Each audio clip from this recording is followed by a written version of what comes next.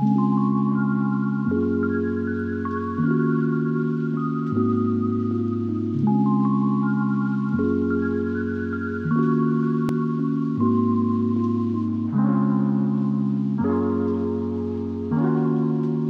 BG, I'm Cadence. And I'm Landon. Today is March 8th, 2021. Now let's stand for the pledge. I pledge allegiance and to the republic for which it stands, one nation, under God, indivisible, with liberty and justice for all. School pictures are due March 10th. Car riders will now be released on the 235 bill. No school this Friday, March 12th.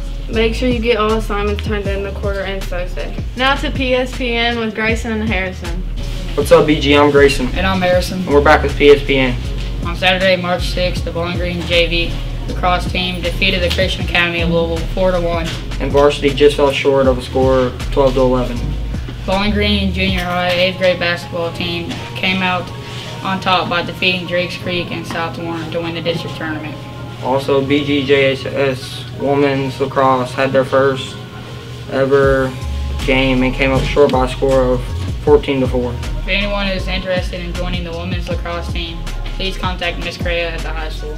Now on to Markel with the weather. Hi, BGJHS. I'm Markel with your weather. There will be a high of 64 and a low of 37 with zero precipitation and 2 mile per hour winds.